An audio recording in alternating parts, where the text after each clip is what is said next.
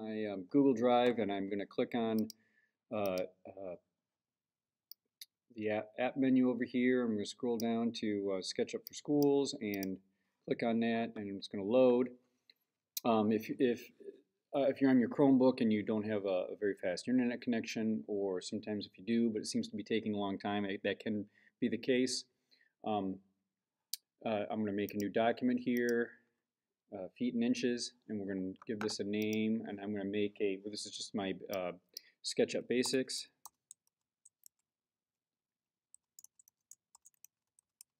I'm going to go through some of the tools and how some of this stuff works. Uh, give it this name. Remember, we got to give it a place to go to, go to, and uh, save to in Google Drive. They they give us in these templates. They start off with a, a person standing here um, to try to give you an idea of the scale that we're at.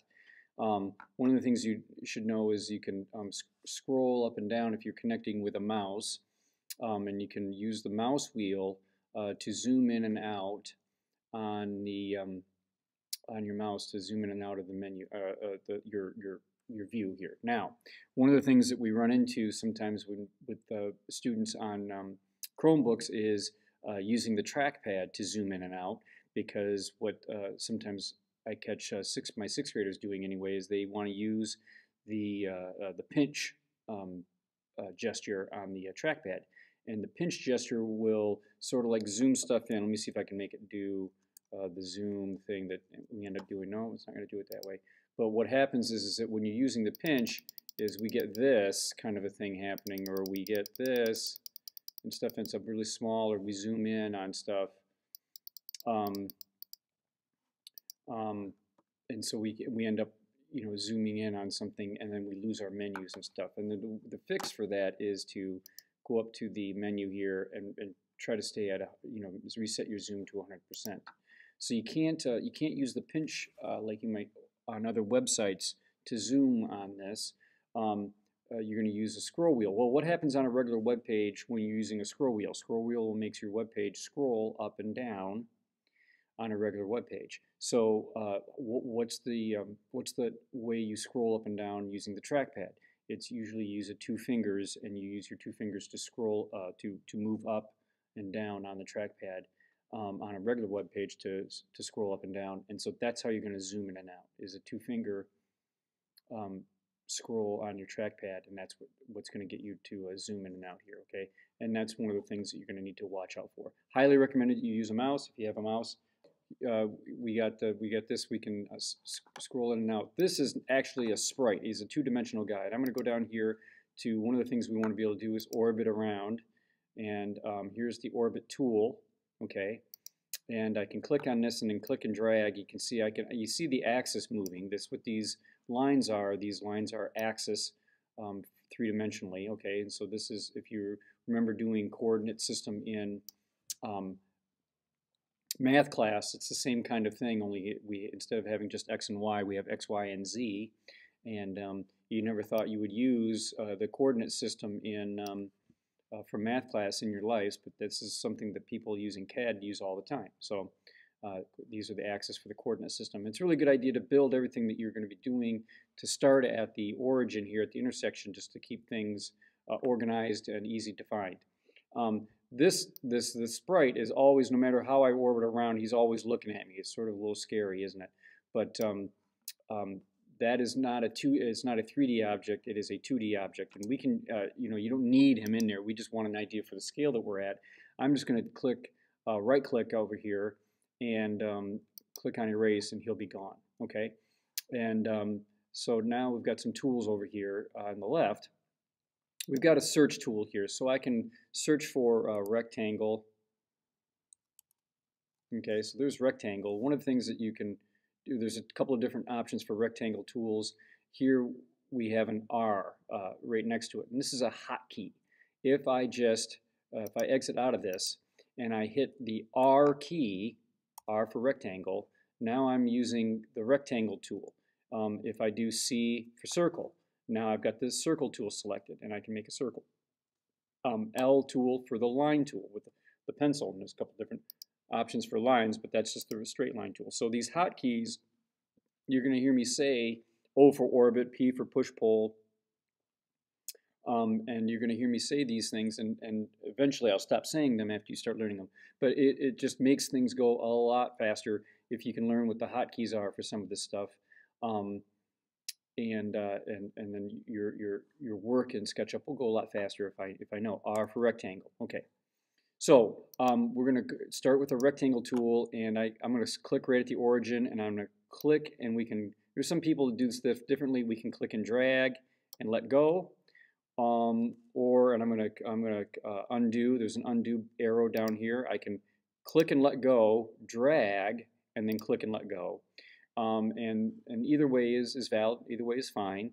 Um, and this is now just a, a, rectangle. I don't think it's quite square, but notice it's not three-dimensional. It's it's has has uh, uh, two dimensions to it, obviously, and but we're we're missing a, a, dimension here. It's basically zero thickness here.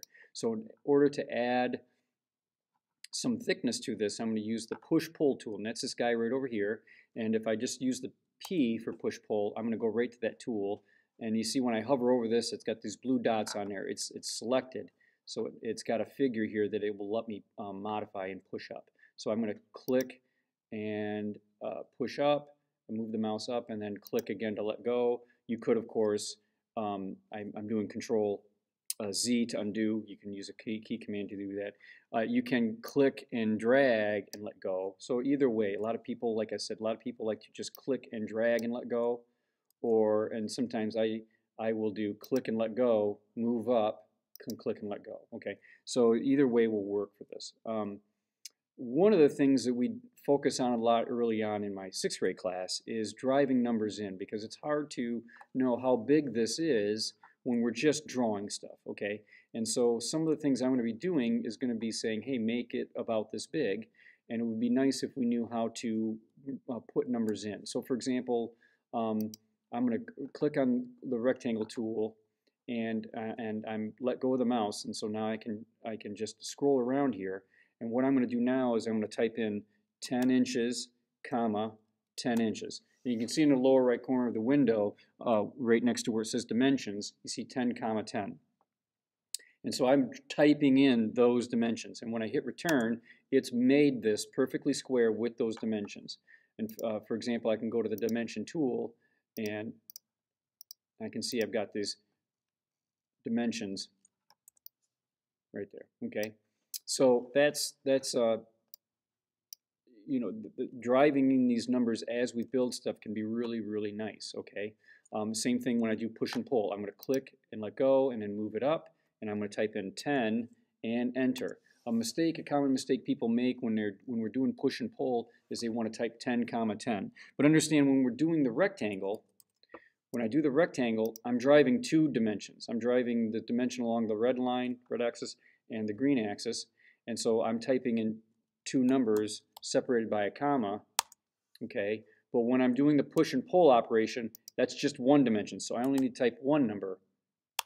Oop, I didn't take it. There we go. Now, um, there is, it is also true that you could uh, drag, click and drag and let go and then before you do anything else, you don't touch or change the tools or change your view. If, if you click and if you like to click and drag and then let go of stuff and it makes this, but I want to type in the size. I can type in the size right now, 10, comma, 10, enter, and it changes it, okay? Same thing with um, push-pull. If I go really tall, but then I type in 10 and enter, it's going to pull it back down. One of the another mistake that people make is they might do this and then let go, and then, oh, what that's supposed to be 10 tall, and then they click again, and then they type in 10, and now it's too tall. Well, I just typed in 10, mystery. What happened here? What happened is when you clicked on that first one, uh, it, it, it, started from there and then added 10 onto it. So you got to be a little careful about that. That's not, um, uh, uh, you're not inadvertently adding onto it. For example, if you get into that situation, we can go back. I can put a dimension on this vertical uh, line here. I can go to the push-pull tool and come back. So there, now we're 11 inches, there's 10, 10 and a half, and 10 inches. So I can, I can drive these uh, numbers in with the push-pull tool if we need to. I'm going to use the E for erase, and I can just click on that uh, dimension and get rid of it. Okay, so now I can O for orbit and click and move this guy around, uh, move my view around that is, and I've got my three-dimensional object, okay, and that's different than that sprite we had earlier. Um, yeah, so that's how we make a, just a simple cube. Let's see, another error that we get, sometimes that, that, that is a problem for people, is if I um, get rid of this thing entirely, I'm going to go rectangle, I'm going to start here, and then I'm going to type in, maybe not 10, but I'm going to type in 1, comma 1, enter, and then they go, oh, Mr. E, it's, uh, it's gone. It just disappeared entirely. My, my rectangle didn't get made. It got made, it's just so small based on our view that you can't see it. So if I zoom in, it's there, okay?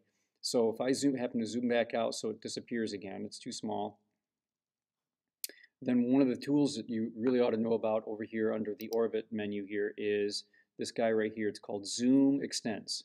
And Zoom Extents will automatically put everything you've drawn into view. So I'm, I hit Zoom Extents and now I can see mine. So if you type in numbers and it disappears, then maybe hit Zoom Extents before you panic and, and, try, and can't figure out what you're doing. Zoom Extents is also really helpful when we get lost and we can't find where the origin is and Mr. E, help, I, you know, this is, this is goofed up. We can just go to Zoom Extents. It'll take us back to where we're here at the origin and where we're drawing stuff. And, and that's a really helpful uh, tool. There's no quick key, there's no hotkey for Zoom Extents. You just have to know where that's at um, right under the uh, last menu down here. Okay. Uh, one of the problems we have with Zoom Extents, though, is it can be a problem if we draw stuff that's too small here and then we draw something else that's out here, then um, SketchUp will want to put both those things in view, but then they're too small and too far apart to be seen, and then that can be a problem. And then at that point, you might as well select all and delete or uh, and and start over because that's that's going to be a little bit of a problem. Um, again, zoom extents. P for push pull, and I've got my cube. Um, this is a good one. So uh, it, you know, take some time to play around with stuff. So I've got eraser tool. Um, we'll come back to that one. I got a paint bucket. I can I can use the paint tool. I can click on a color. I can paint a side a color. I can paint another side a different color. Um, I could paint everything, uh, all of it, all one color if you wanted to. I've got a line tool, so now I can I can hit this arrow, get rid of that because you might need screen real estate. I can go for the line tool. And you notice how it's really bold here. Um, but if I come back over here and it wants to see, see it's jumping to snap to and stuff. And when I close up the shape, um, and I don't think, yeah, that's something, so if you have trouble getting it to close up, that could be a problem. If I do, let's do this. Yeah, okay, and this might be a good time to use the eraser tool. I can use the eraser tool to get rid of these guys, and right there, okay. So SketchUp will fill in line work for you a little bit and, and add this plane in. If I click out here, um, pause here, I don't know if it's